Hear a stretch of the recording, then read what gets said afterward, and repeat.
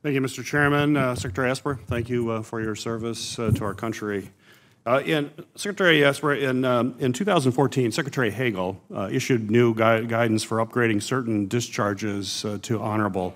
The Hagel policy directed review boards to give, quote, liberal consideration mm -hmm. to the possibility that PTSD contributed to a veteran's loss of their honorable discharge. Mm -hmm. that's why I introduced legislation to codify the principles of this policy into law.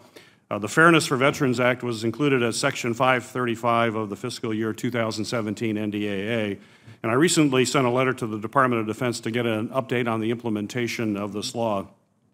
Uh, I think you'd agree uh, that troops that are suffering from mental trauma associated with their service uh, should not have their records tarnished uh, over an episode of misconduct that may be related to the trauma that they're actually suffering from. So my question to you, sir, is can I get your assurance that this law will be executed as intended under your leadership, if confirmed, and that I can get your commitment to keeping Congress informed of the law's implementation? Yes, sir. As you described it, it, it seems to make eminent sense. Uh, you know, from my time in uniform, of course, I, I spent my time in war. I know the impacts. Uh, I think things like that go a long way to signaling that we understand that that these things happen, that uh, uh, damage, harm is not just physical, it can be mental, and that uh, it also goes a long way to us addressing any stigmatization with regard to mental, mental health issues. Well, I appreciate that commitment, and, and I'm hearing from some of my constituents that the, the wait times of over 12 months for a decision to appeal uh, are occurring. Uh, and I'd certainly like you to look into what the department needs, including support from Congress to expedite these decisions of uh, status upgrades and hope to get your commitment. So the, I mean, the bureaucracy on these things is terrible. We, we need to just go after it hard, particularly in, in matters involving, you know, life and health and those things. Pe we just, people can't wait for 12 months to get something like this addressed. So you have my commitment to go after the bureaucracy on that as well. Great, I appreciate that. Secretary Esper, I'd like to, uh, to quote from Secretary Mattis uh, his letter of resignation on uh, December 20th of uh, 2018. He addressed it to President Trump and he said, and I'm going to quote this, uh, because you have the right to have a Secretary of Defense whose views are better aligned with yours on these and other subjects, I believe it's right for me to step down from my position. And in his uh, resignation letter, uh, he emphasized the value of alliances and the true value to the United States uh, to, of the, and of the international order. And let me quote again from his uh, letter. He said, uh, It uh, must be conducive to our security, prosperity, and values, and we are strengthened in this effort by the solidarity of our alliances, uh, end of quote.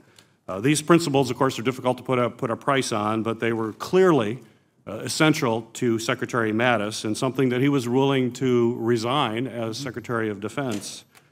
so my question to you is, Tell me a little bit about your view on the importance of the U.S.-led international order to support our security, prosperity, and our values. And would you be a Secretary of Defense with views more aligned with Secretary Mattis or more aligned with President Trump?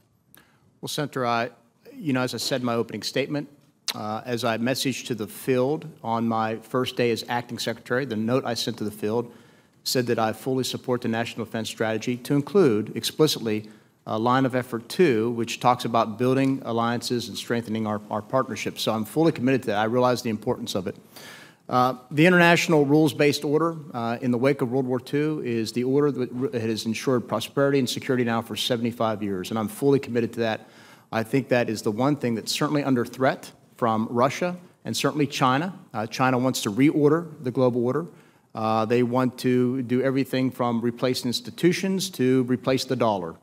And so I'm fully committed to that. I see the, the big picture, if you will, and uh, that's how I commit these problems. It's how I grew up addressing these problems, if you will.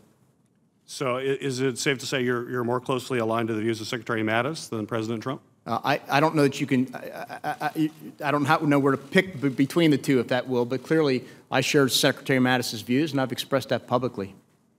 Well, is there an issue or policy that you would be asked to support uh, that would run counter to your values and principles? Would you be willing to resign if it ran counter to your values and principles? Uh, you know, I, at my time in the Army, I grew up with this view that if uh, anything, if you're asked to do anything that is illegal or immoral or unethical, then that would be the point at which you have to consider resignation. And you'd be willing to do that? Absolutely. Thank you.